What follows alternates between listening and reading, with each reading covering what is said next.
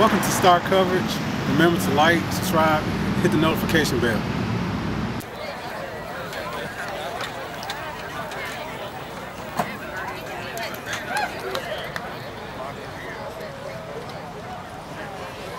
ROTC Color Guard. Directing tonight's Color Guard is Cadet Commander Kenzie Withers.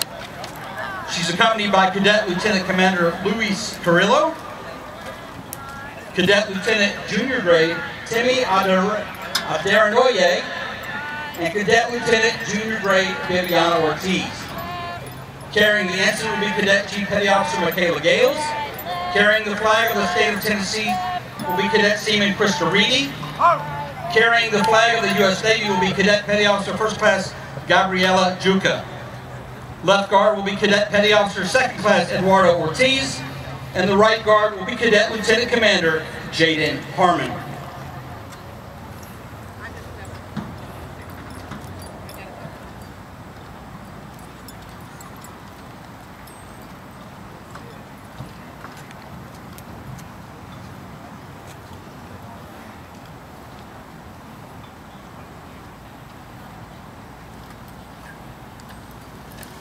day, 19 men hijacked four planes to carry out the deadliest attacks on U.S. soil. America was changed forever, history books were rewritten, and families were never the same again. Today we look back and pay honor to those lives lost on September 11, 2001.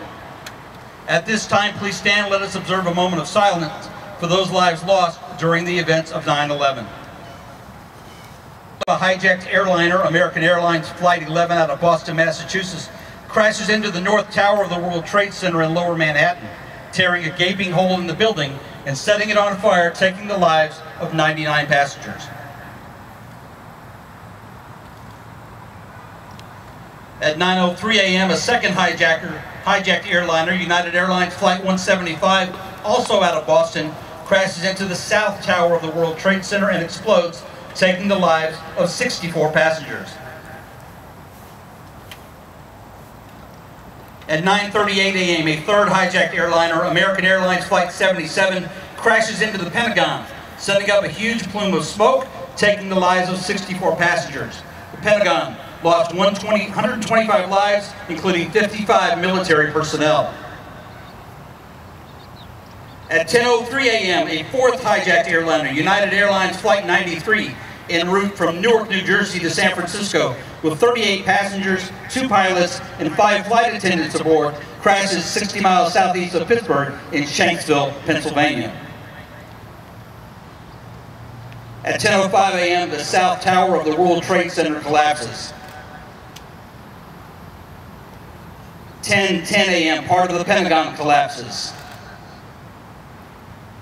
At 10.28 a.m., the World Trade Center's North Tower collapses from the top down. Today, we remember the lives of those lost 19 years ago, but also we pay our gratitude to those first responders, military personnel, and citizens who sacrificed everything to save lives during these events. Finally, to the families who lost loved ones, we honor you and hold you always in our thoughts and prayers. Please remain standing for the playing of the national anthem.